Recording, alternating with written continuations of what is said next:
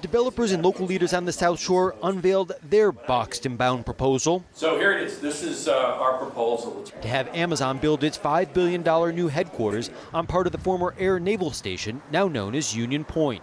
We're offering the 100 acre pad ready site to Amazon for free with a catch. The catch is Amazon would have to donate $200 million to local charities. We wanted to step up first and not say what can the towns or what would the state do to help Amazon come to us, but what can we do to help bring Amazon to the region. The City of Boston's bid focuses on the Suffolk Downs racetrack, close to public transportation and two miles from Logan Airport. I don't think any bid in America will be as close as that to the airport. I mean, you're literally three minutes away. In Massachusetts, bids are also expected from communities such as the Merrimack Valley, New Bedford, and Worcester, whose video presentation includes a role for Amazon's virtual assistant. Alexa, compose an email.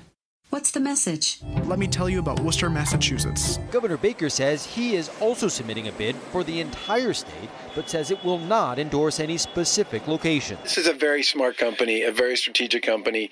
Give them a whole bunch of options here and let them take a look at all of them and see which ones they think make sense.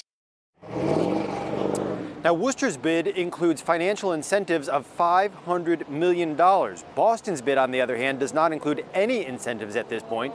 Boston is waiting to see if it makes the second round of bidding early next year.